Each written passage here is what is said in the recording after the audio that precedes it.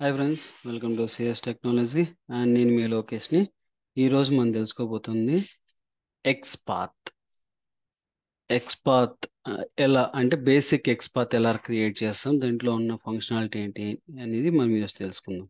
Okay basic మళ్ళీ మనం advanced కిందకి మళ్ళీ మనం వెళ్దాము. ఫస్ట్ బేసిక్ అర్థం చేసుకుందాం. ఓకే దాని తర్వాత అడ్వాన్స్ నేర్చుకోవడం వల్ల మీకు కొంచెం బెనిఫిట్స్ ఎక్కువ ఉంటాయి. ఫస్ట్ బేసిక్ అర్థమైతే ఆటోమేటిక్గా మీకు అది కూడా అర్థమైపోతుంది అనమాట ఓకే?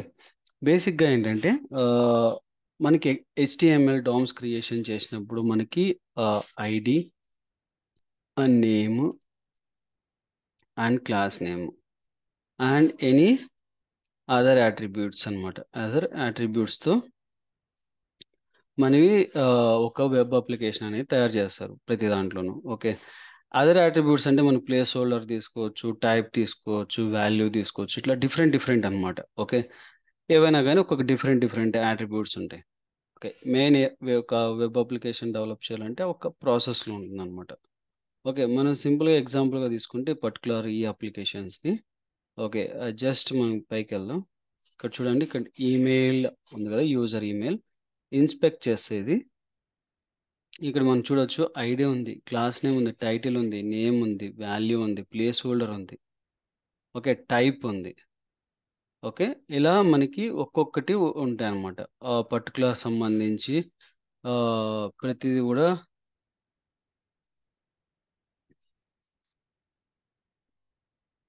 ప్రతిదీ కూడా మనకి ఒకటి ఉంటుంది అనమాట ఒక్క నిమిషం. సారీ మధ్యలో ఒక కాల్ వచ్చింది. అందుకోసం కొద్దిసేపు హోల్డ్ చేశాను. Sorry okay.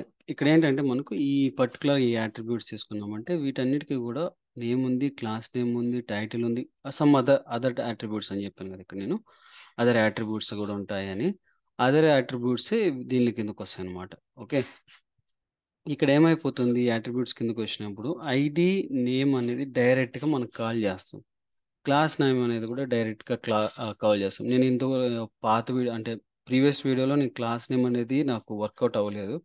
మీకు మీరు అల్లి తర్వాత మరి చెప్తానని చెప్పాను. అది కంపల్సరీగా నేను ఈ లొకేటర్స్ గురించి అంతా అయిపోయే టయానికి నేను క్లాస్ నేమ్ది కూడా నేను సపరేట్ వీడియోలో చూపిస్తాను. లేదా లాస్ట్ వీడియోలో ఆ క్లాస్ సంబంధించి ఎలా హ్యాండిల్ చేస్తాం అనేది కూడా చూపిస్తాను. ఓకే?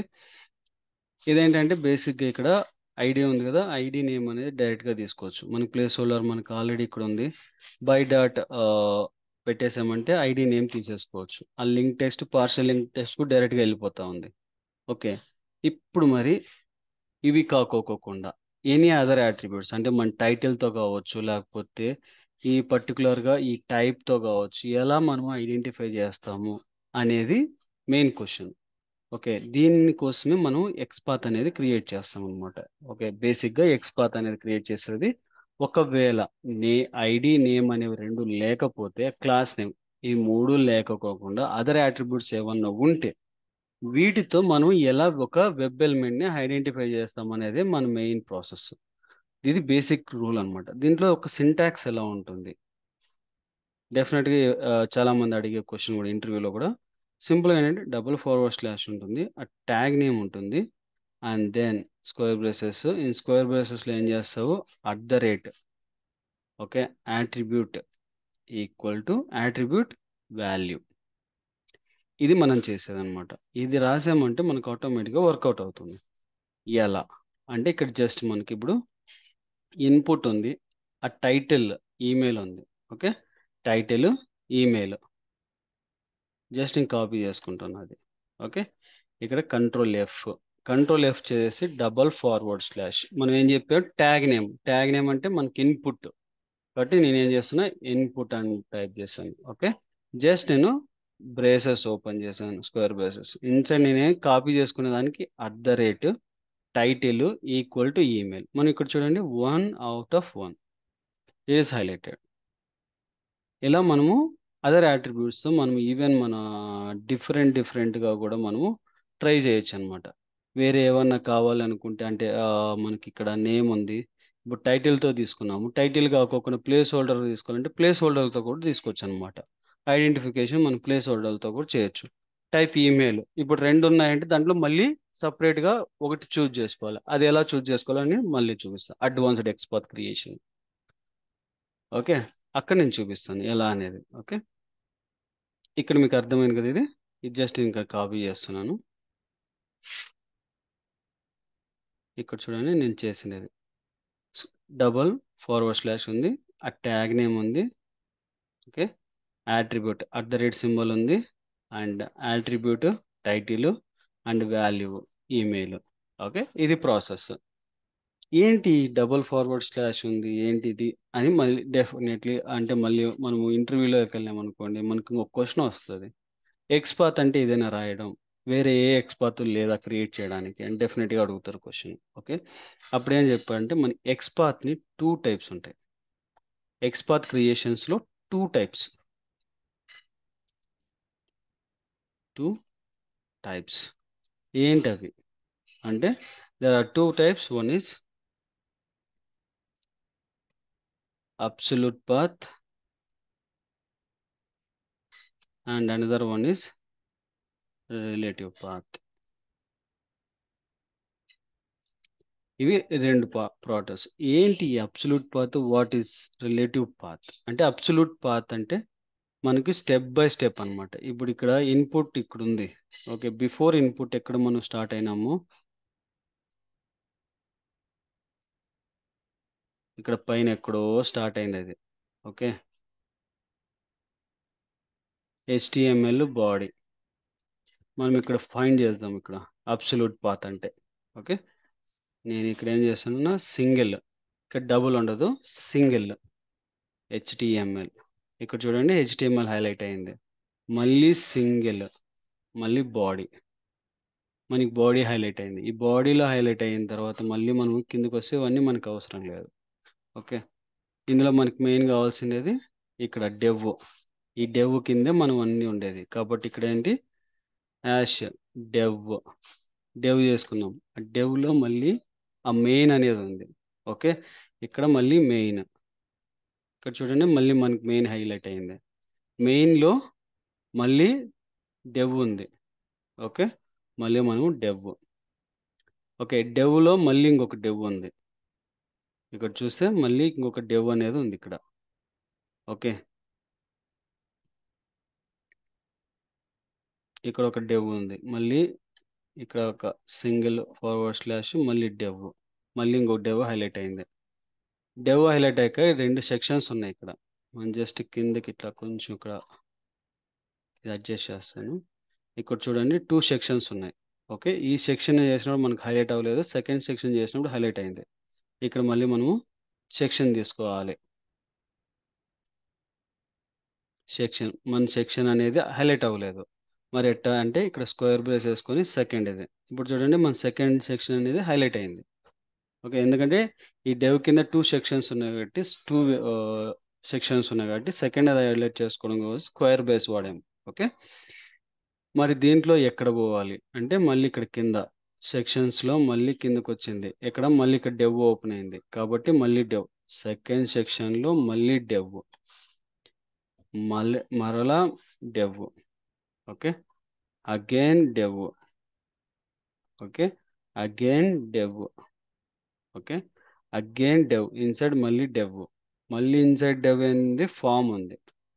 చూడండి మళ్ళీ ఫామ్ హైలైట్ అయింది. ఈ ఫామ్లో ఏముంది? ఇంకొక డెవ్ ఉంది. ఓకే? మళ్ళీ సింగిల్ ఫార్వర్డ్ స్లాష్ డెవ్ దాని తర్వాత ఏముంది ఇక్కడ? చూస్తే ఈ డెవ్ లోపల ఇన్పుట్ అనేది ఉంది. డెవ్ లోపల ఇన్పుట్ అనేది ఉంది. ఇప్పుడు చూడండి మనం ఈ డెవ్ మీద హైలైట్ చేస్తే మొత్తం అంత అవుతుంది. బట్ అయితే ఇన్పుట్ అనేది ఇక్కడ ఉంది. కాబట్టి ఇక్కడ మనము ఇన్పుట్ అనేది హ్యాండిల్ చేయాలి. ఇప్పుడు ఇన్పుట్ ఇప్పుడు చూడండి ఒకటి ఫోర్ హైలైట్ అయ్యాయి. బట్ అందులో ఫస్ట్ది ఫస్ట్ చూసి ఇప్పుడు చూడండి మనకి ఇక్కడ వచ్చామంటే హైలైట్ అయిపోద్ది. ఇప్పుడు ఇది కాపీ చేస్తాను. ఇలా వన్ బై వన్ అనేది మనం చేసేదాన్ని అప్సల్యూట్ పాత్ అంటాము. ఎంటైర్ పాత్ సి అన్నీ కూడా సింగిల్ ఫార్వర్డ్ స్లాష్ ఉన్నదాన్ని అప్సల్యూట్ పాత్ అంటారు. మీకు మేబీ ఇంటర్వ్యూలో కూడా ఇంకొక క్వశ్చన్ అడగవచ్చు ఏంటి double forward slash single forward slash అంటే ఏంటి మీనింగ్ అన్నప్పుడు మీరు చెప్పొచ్చు. సింగిల్ అంటే అబ్సల్యూట్ పాత్ రిలేటివ్ పాత్ కంటే డబుల్ ఫార్వర్డ్ స్లాష్ ఉంటుంది అని చెప్పి చెప్పొచ్చు. ఓకే? అండ్ ఏంటి ఇది? ఇక్కడ బిట్ కన్ఫ్యూజన్ రైట్? మనకి ఏదైనా ఒక చిన్న ఎలిమెంట్ మాడిఫై అయినా కూడా మళ్ళీ కూడా మనం పాత్ ఫస్ట్ నుంచి అంతా కూడా ఇలా తీసుకోవాలి. It's a big complicated. అప్పుడు మనం ఏం చేయొచ్చు? రిలేటివ్ పాత్ రాసుకోవచ్చు. రిలేటివ్ పాత్ అంటే